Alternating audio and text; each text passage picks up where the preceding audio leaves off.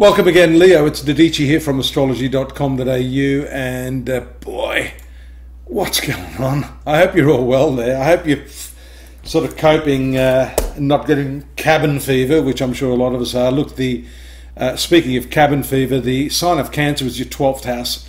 You've got the uh, moon and the ascending node conjoined here at the beginning of the month. By the way, it's April 2020, as if you didn't know. Um, I thought I'd just mention it. Uh, for those of you that are new, welcome. Have a look at this chart. Just a few um, little brief aspects that we're going to talk about here. You can get more at the site. I'll tell you about that later. But uh, what's happening here that's of great interest for those of you born under the sun sign of Leo or the ascendant or lunar sign of Leo is this transit of the of the planet Saturn into your seventh house of relationships, along with this Mars combination. Now, Mars is your best planet, but Saturn is certainly not.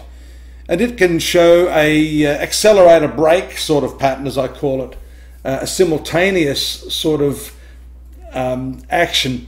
You know, you want to move, you can't move. Um, and the full moon here on the 8th is very telling. We, we see a mixed sort of bag of favourable and unfavourable aspects here, indicating your communication style. You've got to be careful not to be too emotional in the way you portray your needs. But this could also be a combination of what I started the reading of saying this cabin fever, just being in close proximity, needing some space, not being able to get it.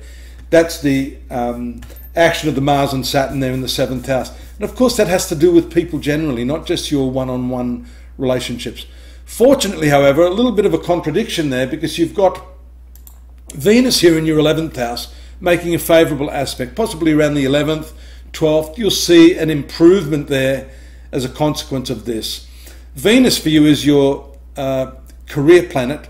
Moving in the 11th house should show some sort of upliftment there around the uh, middle of the month. And also because of its um, favourable influence and contact with this Saturn Mars combo in your seventh house. A better response from other people. Maybe there's less hysteria at this time. Uh, in any case, you'll be able to capitalize on that. And your social life should start to see a slightly better improvement. That's also shown here by Mercury in the sextile aspect from the ninth house to Venus here in your 11th house. Around the 16th uh, and 17th, little bit touchy with the moon transiting this stellium here. First in your sixth house of health. It's going to be around the 14th. Take care at that time. Stay indoors if we're still in lockdown. And then the transiting of this very frustrating combo around the 15th and 16th in your seventh house. You may not be able to get anything done. You may not get what you want out of a deal, out of the relationship, but you may have to wait. And don't be too idealistic. That's shown here by the eighth house transit of the moon making its contact with Neptune. Neptune for you is an interesting planet. It actually rules your eighth house. So this has to do with your intimacy, it has to do with psychological issues, working through that.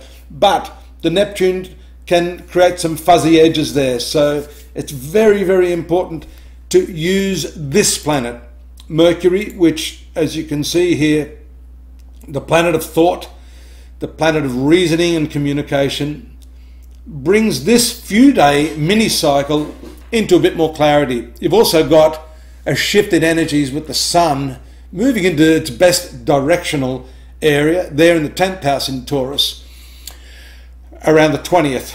20th as it moves into the sign of Taurus. Now, the career sector here is a perfect position for the sun, and as it moves into the conjunction of Uranus here, I would say to some of you Taurus people, just when you thought that going was getting tougher and things were going bad, bang, something good may happen to you. Um, that's got to do with the combined influence of your ruling planet, the Sun, and Uranus, which rules your seventh house. So, if you've been looking for a breakthrough in the relationships, in your business partnerships, in the way your customers um, and your PR is going, then this here you see a perfect conjunction there.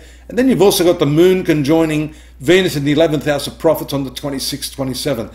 that is an excellent date to look out for. I also forgot to mention there that around the 23rd, you've got the new moon in your 10th house. So, as well as the exciting, unexpected combination of the sun and Uranus, you've got that that new moon taking place in your career sector. So that opens new doors for you.